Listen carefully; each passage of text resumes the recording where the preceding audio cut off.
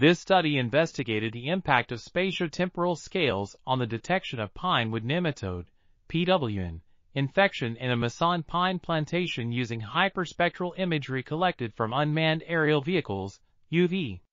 The study found that the optimal vegetation indices, VIS, and spatial resolutions varied depending on the stage of infection.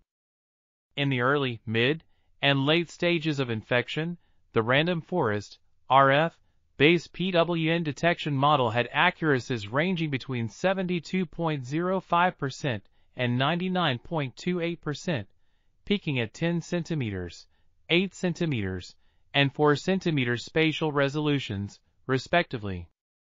Additionally, the study found that the green normalized difference vegetation index, GNDVI, and red edge position, REP, were the optimal VIS in early and mid-infection stages, respectively.